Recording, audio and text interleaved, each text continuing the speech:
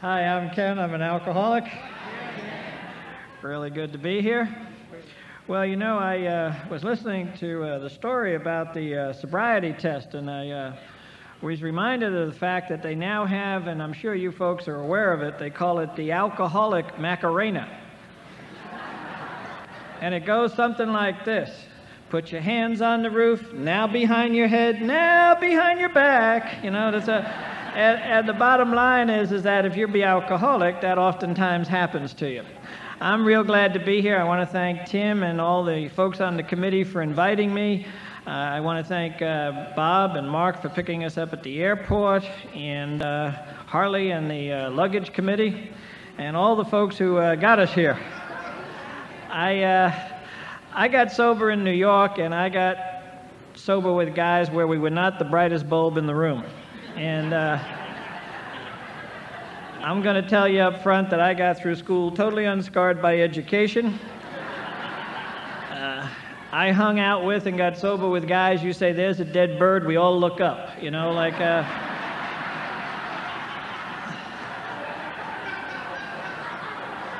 my sponsor thinks that Moby Dick is a venereal disease, so it's, uh, you know. Uh, So you won't hear anything really deep, uh, you know, from me. And I hang out with guys just like that today, where, you know, you say, hey, hey uh, how come there's a light on the vacuum cleaner? And says, don't be so stupid, Vinny, in case the power goes off. You know, like, uh, you know. You know. So you, so you get so you get a deal from from where we're coming from, you know. And I'm a real alcoholic, you know. People say, you know, some people can look at the glass and see it half empty. Some people can look at the glass and see it half full. I always saw it as too small. So. Uh, so that's just who I am, you know. I, uh, I, I, I got here because I drank, had nothing to do with my mom. She just had me, you know. Uh, uh, there's a new 12 step program now in California starting to catch on called APODS. You know, I'm sure it'll be here shortly. It's, a, it's adult pigeons of dysfunctional sponsors. And uh, so uh, I'm sure it will be sweeping the nation, you know. It's, stuff seems to start in California, the next thing you know, in Quebec, they're going, hey, mate, you hear about this? You know but that's just the way it is. I, uh, I don't know about you, but we also really, uh, I should mention at the beginning, we now have a very uh, accurate test to tell if you are a social drinker, a problem drinker, or an alcoholic. And this test can be administered at any time. You go into a bar, you take everybody's whiskey glass, and you put a fly in it. The social drinker will pick up the glass, see the fly, immediately call the bartender and say, I need another drink. The problem drinker will pick up the glass and see the fly, remove the fly, and drink it down. The alcoholic is real easy to pick out. He's down at the end of the bar. He's got the fly by the back of the neck yelling, Spit it out! Spit it out! You know? Uh,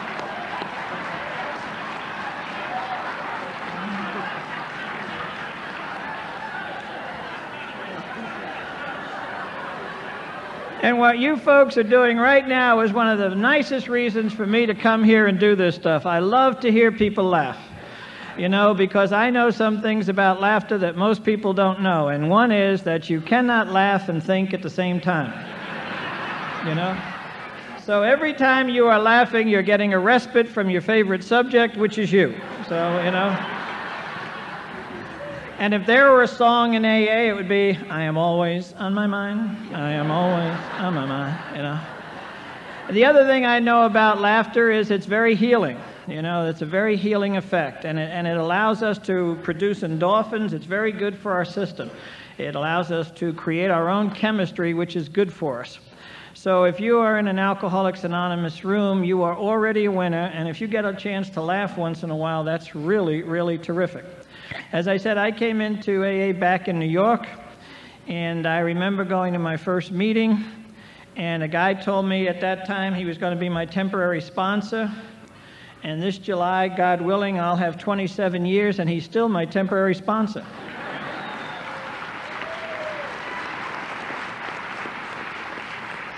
I don't know if it's going to work, you know. but he seems to need the drill, you know. The other thing I, I, know about Alcoholics Anonymous is that if you be an alcoholic of my type, then the big book of Alcoholics Anonymous is a big relief. You know, I, I like to tell the newcomers that if you're an alcoholic of my type and you are not in an AA meeting, you are homeless. And it's not until you find the program and you're able to start on the journey of recovery here that things begin to go well for you. This is, a, this is the darndest program because everything, as we hear over and over again, is paradoxical. There was a little teacher 2,000 years ago, and he told people that the kingdom of God is within. Alcoholics thought he was trying to mislead us. And uh, so we always look for things without. And one of the great things about Alcoholics Anonymous that I have found through my experience is the way out is the way in. And if you take these steps, just as they're given in the big book, a lot of good meetings have one here, but, uh, but the, uh, but the, uh, this is some of the material from the big book. But but the deal is, is that if you take those steps, then things begin to happen. It's not about thinking about the steps. It's not about talking about the steps. It's called taking the steps. You know, it's a program of action. And what you find out in Alcoholics Anonymous, everyone I have ever talked with or shared with has found this out, is it's a program where you find your way on the way. You know, we have a gambling place back in our area that's uh, run by the Indians, and um, and there's a great sign in there, and they're, when they're raffling off the cars, and the sign says, You must be present to win. And boy, if that doesn't apply to an alcoholic, you know, like, you must be present to win. You know, I was a lot of places where I wasn't at, you know. And uh, I don't share a lot about the way it was because, to be very honest with you, I don't remember most of it. You know, and those things that I remember most vividly never happened. So, so it doesn't leave you a lot of material to work with, you know. And what I like about Alcoholics Anonymous is, is that, particularly the old timers, because they always chime in usually at the wrong place. You know, you have a newcomer who's sharing something along the lines of, well, you know, last week I was in a jacuzzi with five nude women and all the booze that I could possibly want. And you get some old timer says, hey, you'll never have to go through that again. We're going to give you this big book, you know.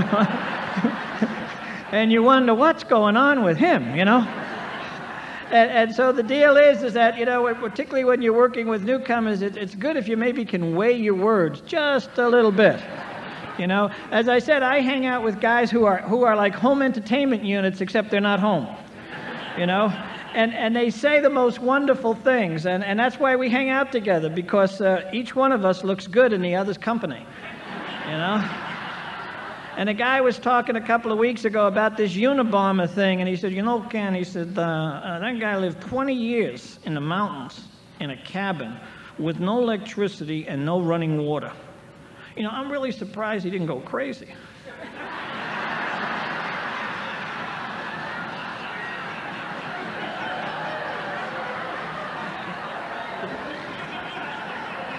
you know? You know, you look at a guy like that and you say to yourself, you know, the hamster's dead, but the wheel is still turning, you know, like, uh, I, am glad you shared that, Swifty, you know. Uh, and the deal is, is that when I, when I started into Alcoholics Anonymous, I had no idea what it was about. And yet, by reading the big book, I was able to come to a lot of realizations about my own life. There was a time in my life that I thought I would live a life in such a way and do something that was really worthwhile that someday somebody would write a, a book about me. And they did. It's called Alcoholics Anonymous. you know? And in that book, it points out real clearly that if you be a real alcoholic, then you have these tendencies to do these things. And it's written for guys just like me who look when there's a dead bird. You know? It's, it, it's so specific. It says, if you're an alcoholic and you drink, something happens. How detailed that is. You know, like, if, if you be an alcoholic and you drink, something happens you don't have to read a lot of other books. That kind of sums it all up, you know? you know, I was one of those alcoholics. I scratched stuff that didn't itch. You know, I just was, you know, I, I got in line without a ticket. I mean, I was just, you know, it, I, I never knew what was going on, but I was there. And if I wasn't there, I was trying to find out where there was. You know, we have great bumper stickers in San Diego, and several years back I saw one. It said on the back of a truck, Which way did they go? How fast are they moving? How many are there? I must find them. I am their leader. You know? And and I thought, that's me, an Alcoholics Anonymous, you know? That's the whole deal here. And and what I have found out from my own experience is that there's a flow to Alcoholics Anonymous. You know, one of the things I hear commonly shared, and I'm in total agreement with it, and that is that this is a spiritual program. And I also, from experience, have noticed that we are spiritual beings. So if we are spiritual beings in a spiritual program, then the problems that we have, regardless of how we label them, are spiritual problems. Now, they come dressed up in other costumes. It could be relationships you know. I'll just let that go. Alcoholics have done for relationships what Woody Allen has done for Planned Parenthood. You know, like, a, uh, uh, you know.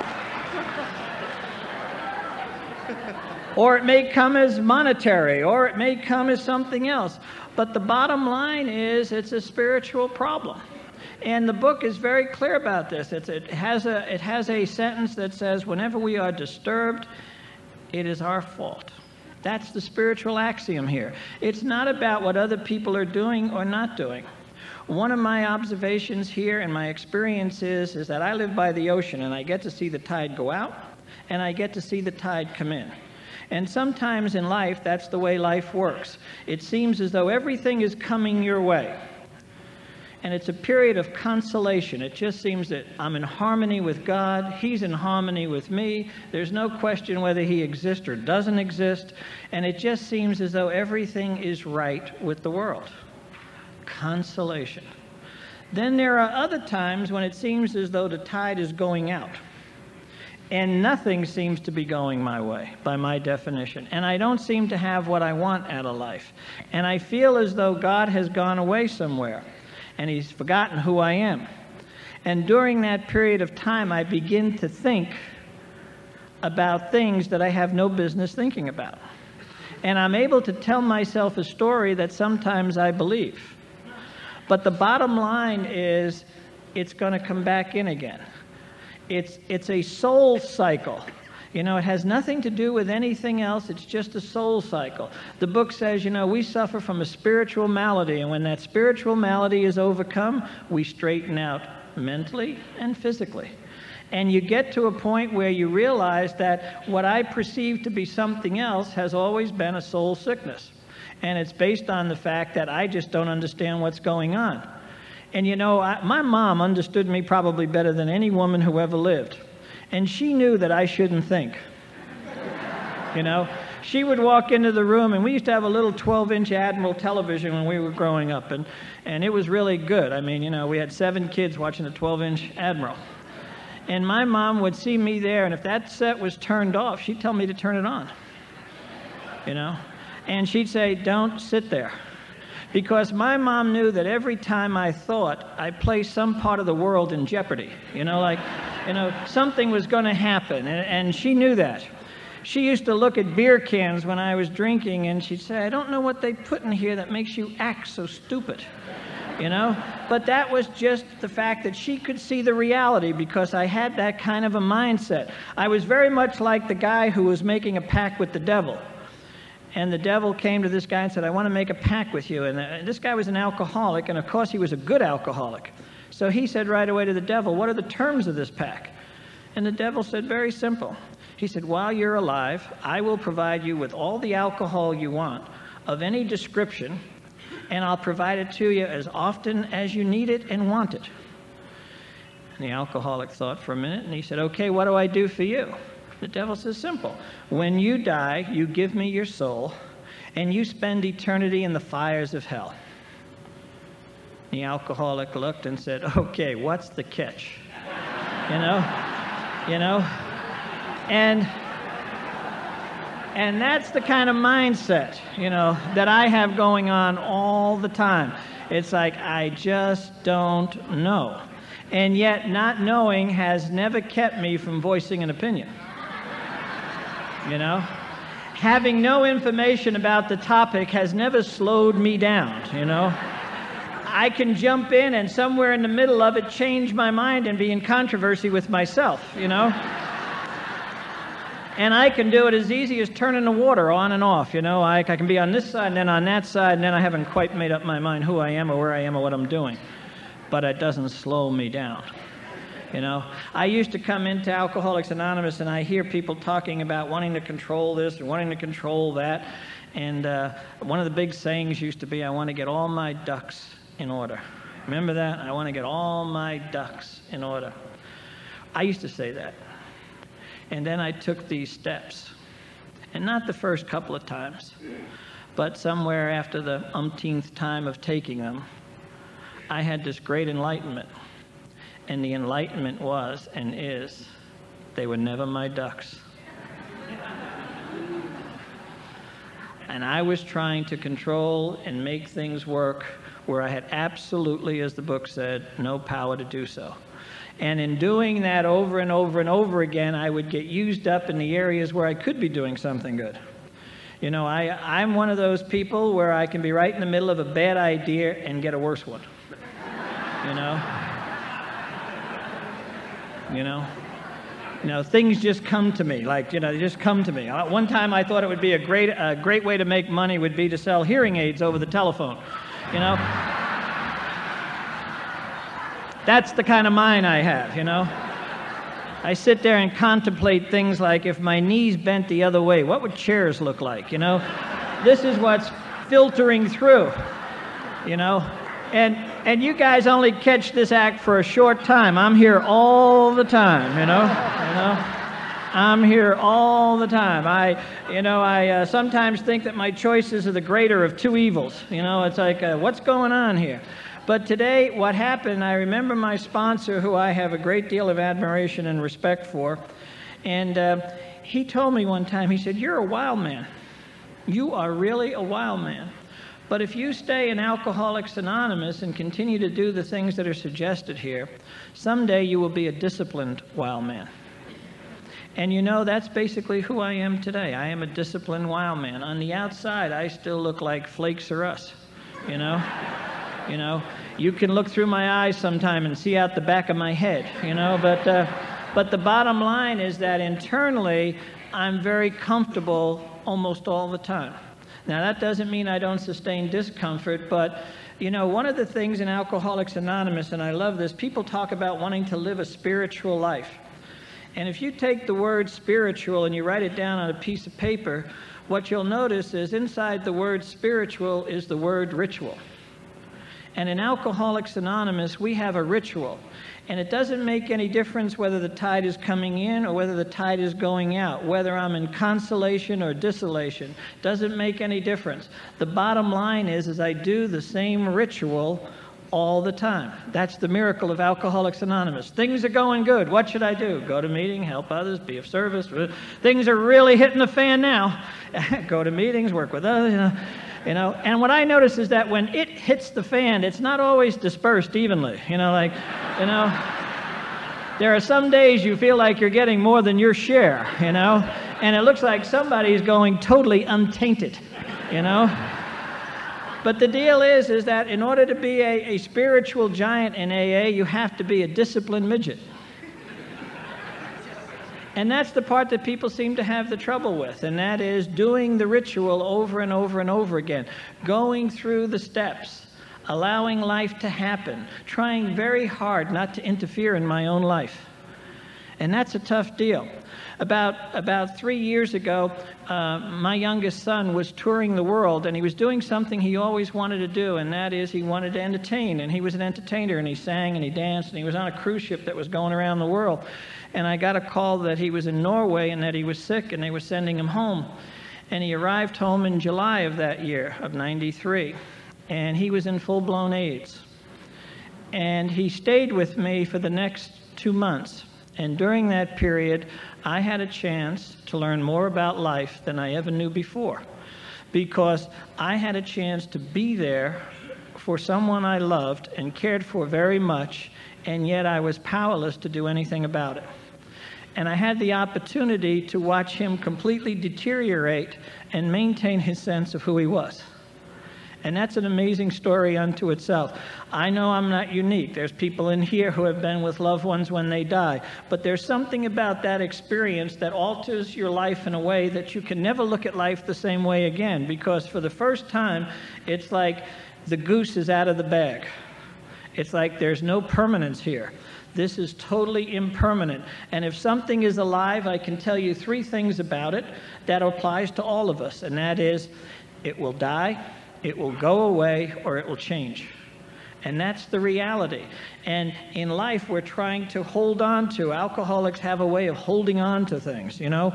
We, we think that they should be a certain way because mentally that's the way we want them to be. And it's not until we can accept the ebb and flow of life that things get real peaceful. I mean, I, I know that God has a sense of humor. My, my ex wife started coming to my home, you know? I got to meet my husband in law. You know?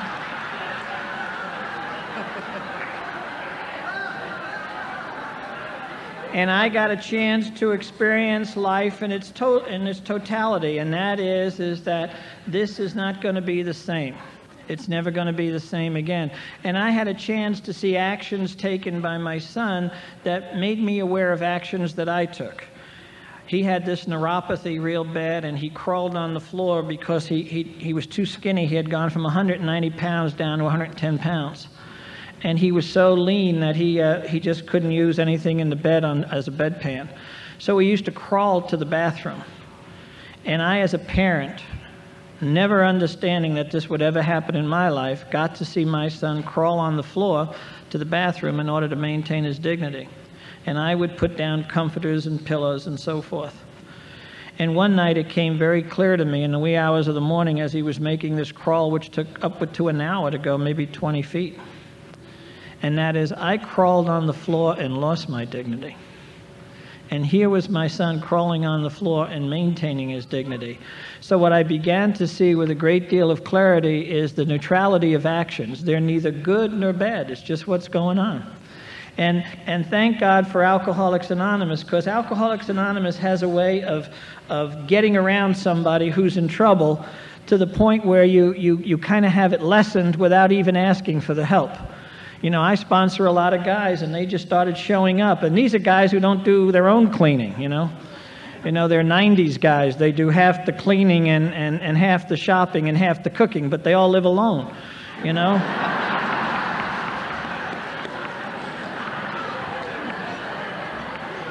And they began to help me do things, you know. And, and, and, the reality of that is, I got a chance to see the AA community in my life really come to the fore. You know, we tell a little story in Alcoholics Anonymous, a poem about footprints in the sand, and that when we're most in trouble, there's only one set of footprints, and that's, as the story goes, God carrying us. That was not my experience. My experience was the sand was full of footprints. People were coming and going, and just, you know, what can I do? How can I do it? You know, you want me to wash the clothes, you want me to do this, you want me to do that.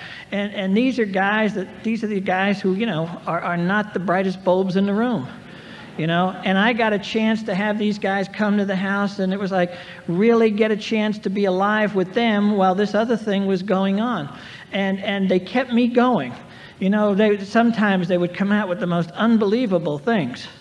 And you know, when, when, you're, when you're sometimes pressed to the glass, it's amazing how a good laugh can buy you another 10 or 15 minutes. And, and I was pressed to the glass then, but I had a chance to laugh at a lot of things simply because these guys were very laughable. You know, they would swing by and remind me. In fact, one guy came one night to, to, to want to know if I needed anything from the store, and he ended up taking some food. You know, that's a, you know, that kind of stuff, you know. You look around and stuff's gone, you know. And, the deal is, is that you realize that, you know, these are the kind of guys that, you know, that you, you really want to have around you when you go into the wall. And I remember when I was, uh, long before I got to Alcoholics Anonymous, I, uh, I used to, used to run numbers for a bookie in New York. And I remember going to him because people were talking about God, and, and I didn't know a whole lot about God. I mean, I went to church, I understood the fundamentals of it, but I really didn't know a whole lot. And his name just happened to be Vinny. And I said, Vinny, what's the deal here with this God? And he said, What do you mean? I said, Do you think there's a hell? He said, Why are you asking? So I told him, I said, I don't know anything about this. He said, Ken, how long you been running numbers for me? I said, Two and a half years. He said, Do we ever lose? I said, Well, someday somebody. No, no, no, no. Don't start with someday. Do we ever lose? And I said, No. He said, You think God's going to make a game he loses?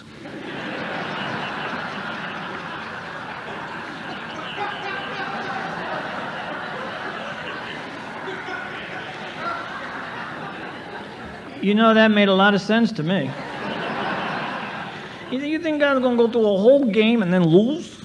You know, like, and I realized then that there was so much more of what was going on that I couldn't see.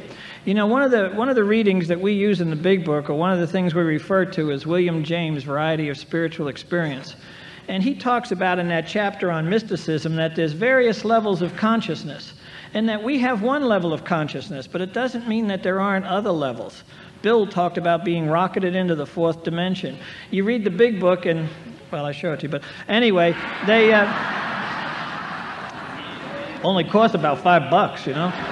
But uh, but the, but the deal is, is that uh, it, it, talks about in there about being enlightened and awakened, you know, and it says as you become conscious of His presence.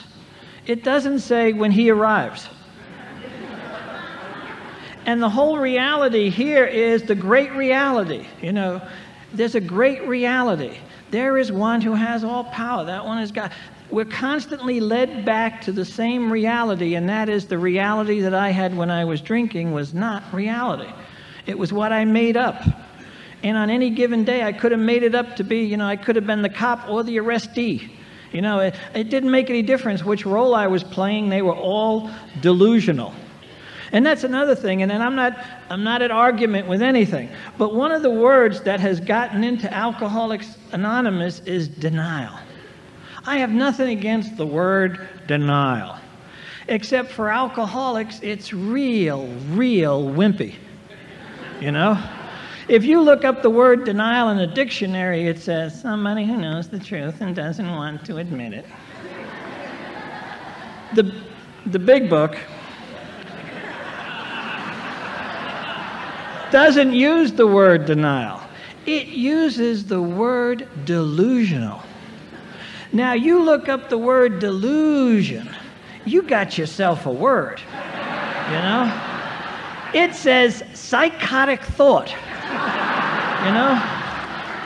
Where the individual has no idea what reality is. You know? Actually, in my group, when you get to denial, we call that spiritual growth. You know, you, you know, you get there you're heading in the right direction, you know. You're just a clipping along now, you know. You're right on the heels of rigorous honesty, you know. You know. But that's the deal, you know.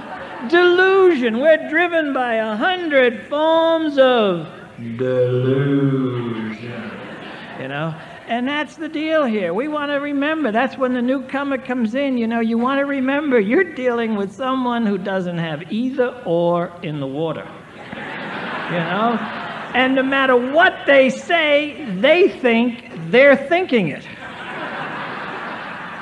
they think that fact is whatever they say, you know? And, and the reality is, it really isn't, you know? It's like, no, no, no, you know? but keep coming back, you know? This is what it's all about the newcomer. You know? Somebody who has that look like a cat on the freeway, you know? Yeah. Somebody who thinks serenity can be achieved through a phoneless cord, you know? You know, like, these are the newcomers, you know? and you see old timers having real discussions with them, mm-hmm, uh-huh, mm-hmm, uh-huh, mm-hmm. And, and, and I love to just watch those newcomers with the old timers. You know, the old timers have these great lines. You know, a newcomer will say, like, how come every time I ask you a question, you answer with a question? Do I? You know? And, uh, and I, uh, you know, and, and they have that, you know, they always have a twitch to them, you know? You know, at any moment they could go off, and, uh, and you just hope you're there to see it. And, uh, know? And so, so you, you develop weapons against, old timers develop these weapons against newcomers, and that is disarming things, things that keep them going, you know, but don't, don't taint their water too much. And, and one of these that I've developed over the years is, you know, I remember John Madden, who used to coach the Raiders at one time, and he was a very successful coach. And I remember him sharing this from a podium at a speakers, not a AA speakers meeting, but a, a public forum, where he said, one of the things he used to do is after the Raiders got through the locker room at the halftime, he would look at them, and before they went out on the field, he'd say, Okay, this half, let's forget the mule and just load the wagon. And the guys are, ah! So guys were going to the Hall of Fame and then calling them up saying, Coach, what does that mean? you know? And he had no more idea what it meant than they did but it, it seemed to work, you know, and that's really what you're looking for. It seemed to work. Well, I developed this little thing which is good for the guys I work with. I, when they press me too hard, I'll just say, remember, the fish in the sea are not thirsty. Then I go get a cup of coffee, you know? And and then you watch these guys, you know, go through this helter skelter, you know. And then about 10 minutes later, you look over and there's like four or five of them in the corner. And I go, well, you'll know the fish in the sea are not thirsty, you know. And then that night, you'll get a call from some guy, hey, Ken, does that apply for the fish in the streams and the rivers? Or, you know. So you know right away he has a PhD, you know, like, uh, you know, yeah. And that's the reality of Alcoholics Anonymous. Sponsors just keep you laughing and confused until God can get a chance to work with you. You know? And, and, and, and, and they, the real old timers, we have a guy in our area, has 53 years, and he kind of just doesn't, in fact, he's here. You was here at this convention. And he, he doesn't kind of answer things, he just grunts. Mm. And then, like, it's interpretive. Like, I think he said this. No, I think he said that. No, I think he said that. Uh. And that keeps the guy going almost three, four days. Like, I know, no, I think it was this, no, I think it was that, you know? And, and that's what we do here, you know? And, and this is like, you know, when I lived in the city, we used to, as kids, always say, we were just wise guys, is what we were. And people used to say things like, uh, uh, how far is it to the subway? And we said, we don't know. No one's ever made it, you know? But my favorite one, and it applies to Alcoholics Anonymous because it applies to the steps, is how do you get to Carnegie Hall? And the answer was practice, practice, practice.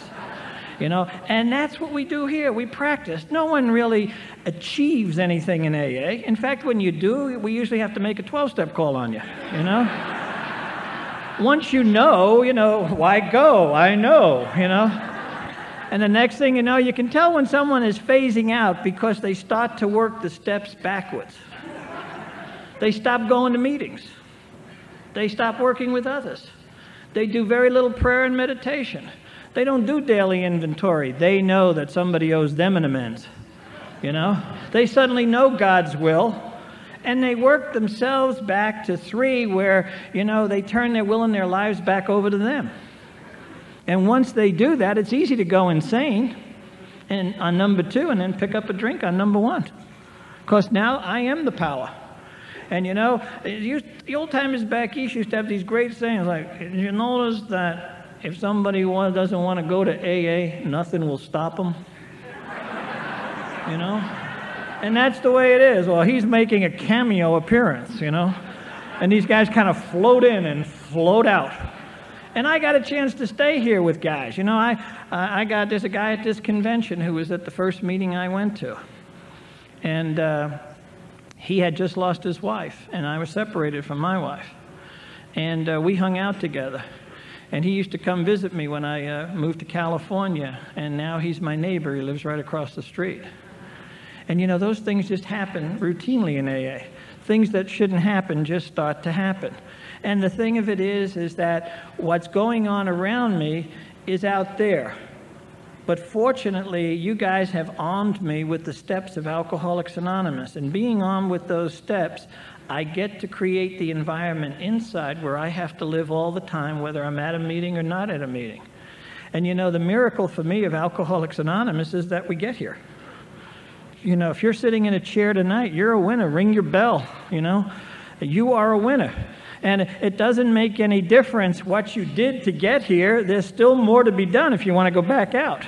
You know, something will happen. You know, and so I like the guys who come here who are like me. They just get in the car and they go to meetings. Where are we going? Shut up. oh, okay. I think we were there Thursday. You know, like, uh, you know. And I had good sponsorship when I came in my sponsor was the kind of guy who didn't say a whole lot, but everything he said was a visual. You know those kind of people? He came to see me, and I was, you know, I used to talk to him on the phone, and I, it's, I'm ashamed to admit this, but I was a real whimper and whiner. You know, I would say things on the phone at night like, geez, my wife left me. And he'd say, good for her. and I'd say, I'm in the process of going to jail again. Good, that's where you belong, you know? you know, when I was drinking, I had a habit of finding things before people officially lost them. And, uh, and he used to he used to remind me of these things and then right before i would hang up he'd say hey ken maybe you'll get lucky tonight and die and then he'd hang up and suddenly everything else went out the window. Now I had some major problems, you know? And that's the way he was. And I remember I moved into this apartment, and, and the only thing that I had was this little Hummel, you know, from Germany that somebody had given my wife and I when we were married, and when she moved, I think she forgot it. So, so I had this Hummel, and I had orange crates in my place. And it was like you know it was it was like your basic junkie's getaway you know? And and he came in and he brought some coffee and a hot plate and he said i'm going to donate this coffee and hot plate. And he was kind of a husky guy and he went to sit down and he had to put his hand on the orange crate and i said whoa be careful. He said why? I said my hummel's there so he picked it up and he said, This Hummel? I said, Yeah and he threw it. And I had plaster walls, and it hit off the wall and just shattered all over the floor. And he says, Now we can both sit down. You have nothing to worry about, you know?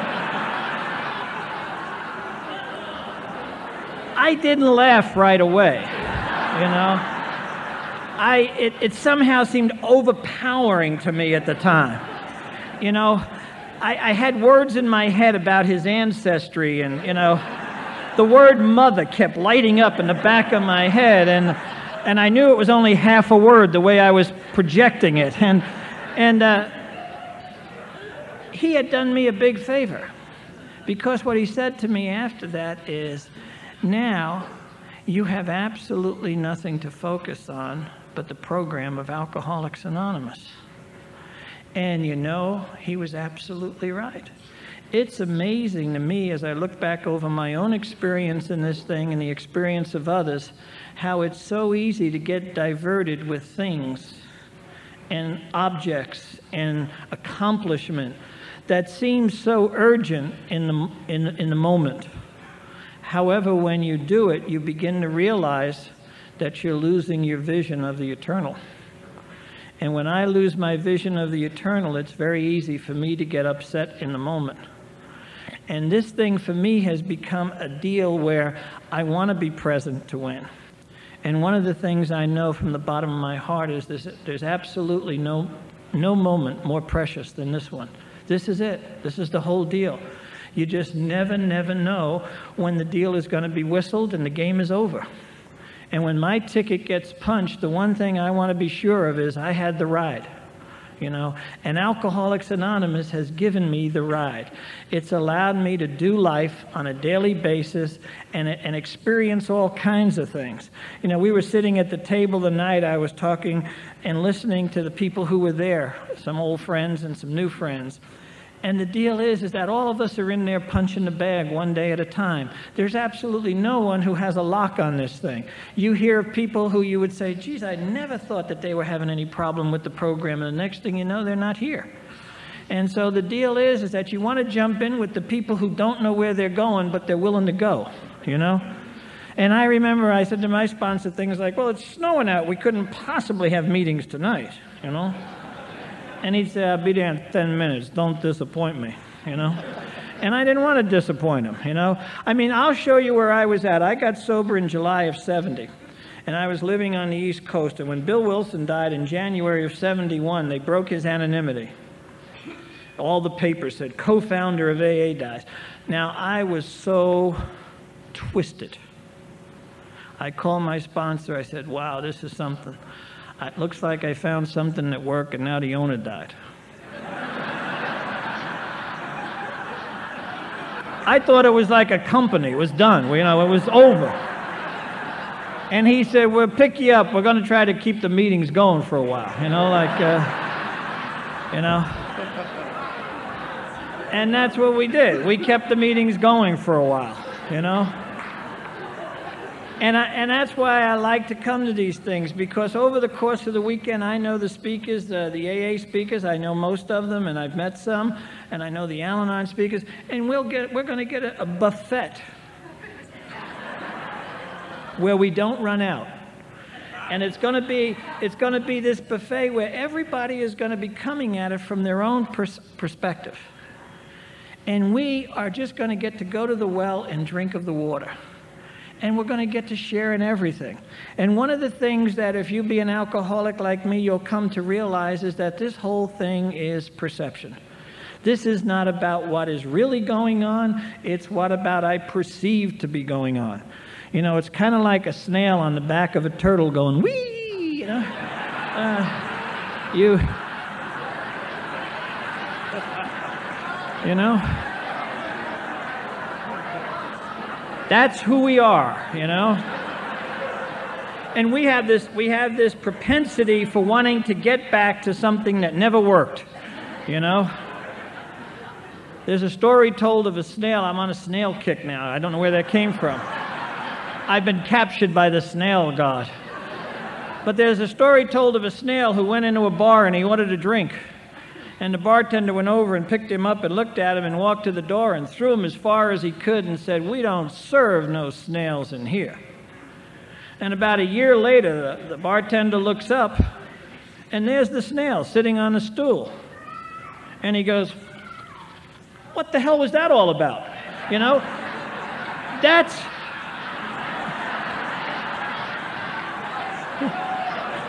Took me that long the first time, too. You know?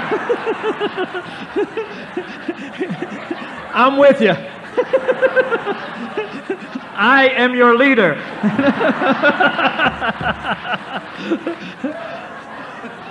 but that's the deal here, you know. You know, we, we, we, we're looking to be logical in a world where there's no logic you know? And that's the something I, that's one of the great lessons and alcoholics anonymous has been an, a series of events and experiences for me that allow me to live in the moment without understanding everything. You know this is not about logic. We don't live in a logical world. If this were a logical world men would ride side saddle. You know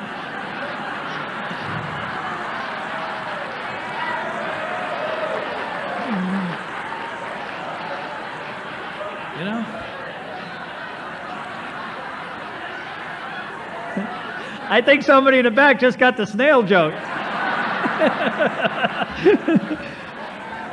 but that's the deal, you know. We scratch, we laugh, we enjoy, and the thing is, is that when this is over, we'll be sober. You know, we'll have another moment of sobriety, and we'll have another moment where we get a chance to really live life. You know, you can either live this life or you can survive it. It's usually much better to live it. And if you live it and you hang out with people in AA, they'll make it exciting for you. You know? We are like terrorists in AA, you know? You know, give us a cause and, you know, and we'll get behind it, you know? You know, you look around the room and you figure at any moment somebody in a chair here can really flip out. and we just hope it isn't us, you know, like. And, you, and it looks like sometimes everybody knows the answer and we can't figure out the question, you know. You know, you go through life if you're an alcoholic thinking you're a piano player in a marching band. You know, like a, like that's not who we are, but we have that way of creating that illusion, that delusion, you know? So as you're sitting here tonight, I don't know whether you're in the consolation, I don't know whether you're in the desolation. But it really doesn't matter because you get to do the same thing regardless. And I can tell you this from experience that if you're in the consolation, it will be followed by desolation. And if you're in the desolation, it will be followed by consolation. And it's the cycle of the soul. And as our souls get stronger and stronger and stronger, we call it spiritual growth. We know the ritual. We march to the tune. Alcoholics Anonymous is not a spiritual bypass around life. It's not an avoidance, it's an awakening. It's not a rejection, it's an acceptance. It's not a knowing, it's an allowing. And you get so peaceful.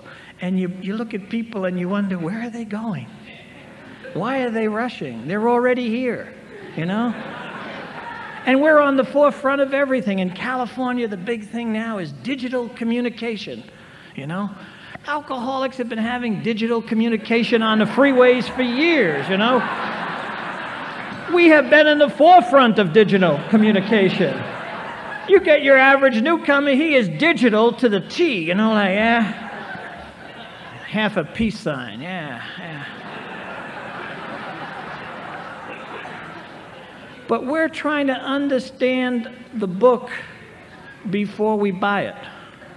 You know, and we're and we're we're of that mind that somehow if I if we have that neurotic longing to know why, like somehow if we know why, it will be better. And there's no why to it. You know, there's no why to it. I want to thank you guys for letting me come here tonight. I want to thank you for letting me partake of your convention. I hope you enjoy the rest of the convention. And what I would suggest to all of us is that try to listen to each and every person you talk to this weekend in a complete state of neutrality. Don't try to give them their ending while they're working on the beginning. Don't try to anticipate where they're going when they don't know. You know, sometimes in Alcoholics Anonymous, we're answering questions that are statements. You know, we're putting question marks where God has already put a period. You know, one of the things I know about language is it's filled with nouns, but in life there are no nouns, there's only verbs. Everything is in process. There's absolutely nothing standing still. Even when we're standing still, we're not standing still. At one time, I thought, you know, for my work career, I was going to starch my tie like that. That way, even when I'm having coffee, it looks like I'm doing something, you know? I, you know? and and you get to laugh. You know, I love the laughter of this thing because people say, you know, I went to hear the speaker. He doesn't know anything. You're absolutely right. You know, like uh, if it took you an hour to figure that out, you know, you know we meet on Thursday night. Uh, you'd be a welcome addition to our home group. You know, we need people like you. You know. And, and, and it doesn't matter that you're insane because we already know that if you be alcoholic. You know, we're still waiting for the restoration period. You know, you know, one of the great pieces of literature that we have in our program, I think, is Dr. Bob's Final Talk. And in it, he talks about not allowing Freudian concepts to get in and not allowing this thing to get screwed up and to keep it simple. You know, we're basically simple people. We want to be in the forefront of everything and humble. You know, we don't mind being second as long as the person who is first looks like they're falling back. You know, you know.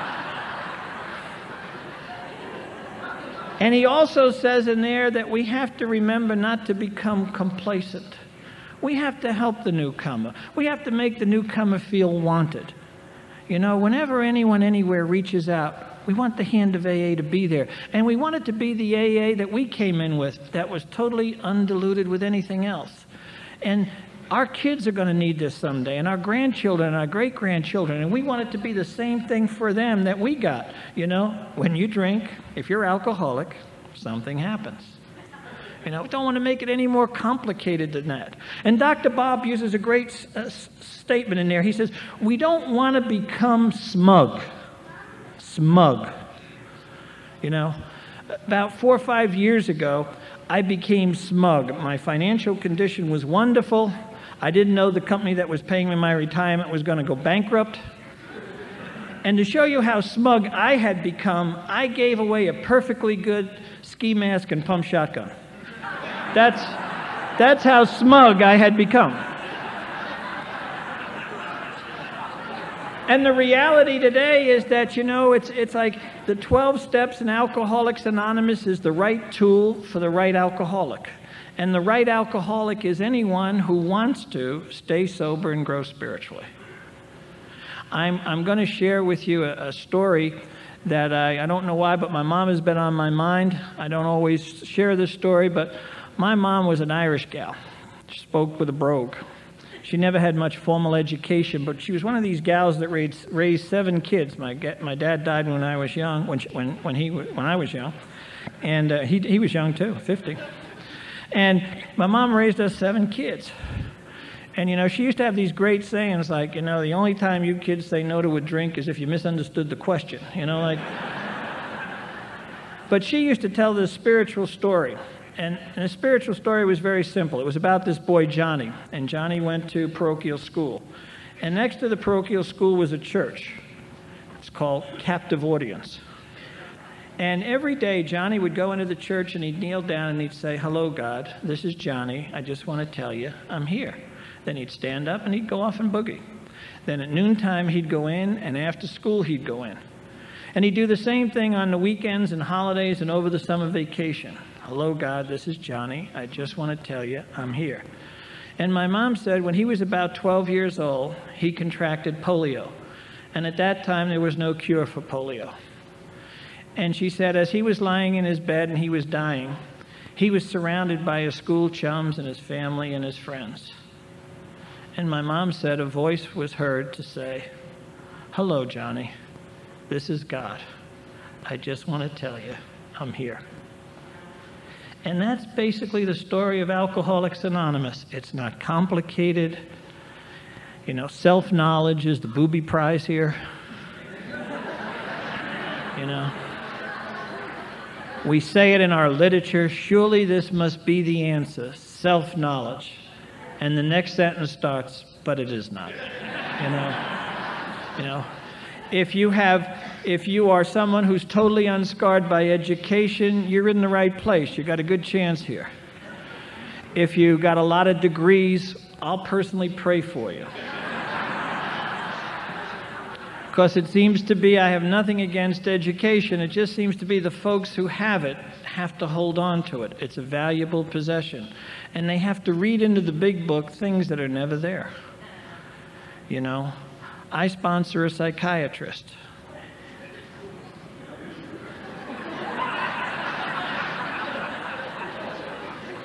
He's new. He's in his first six, seven months.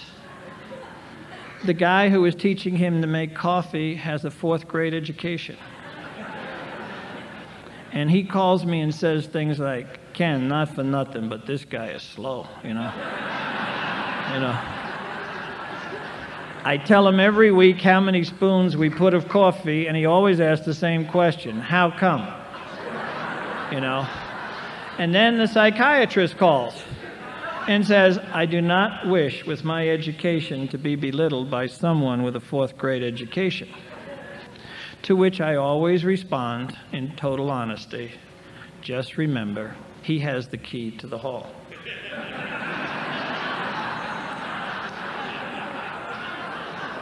We trust him. He does probably the most important chore in AA. He opens the door and starts the coffee. You know, this is real simple. This is real simple. It's not complicated. The only time it seems to be complicated is when we start to think. That's why in the big book, there's no chapter into thinking, you know? It's into action, you know? So I know you folks have a lot to do. There's a dance tonight, a 13 step dance. We, uh, thank you. This is the big book.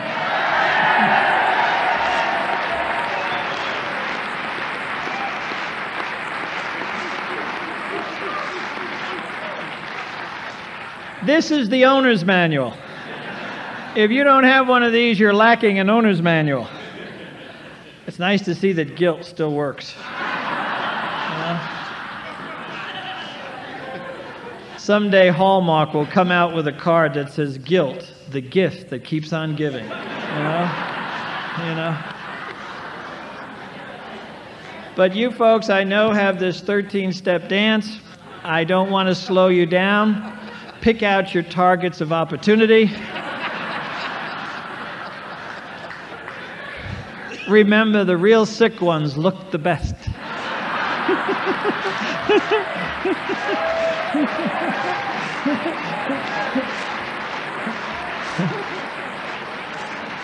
God, in His infinite wisdom, does that to level the playing field. You know? Thank you very much for letting me share.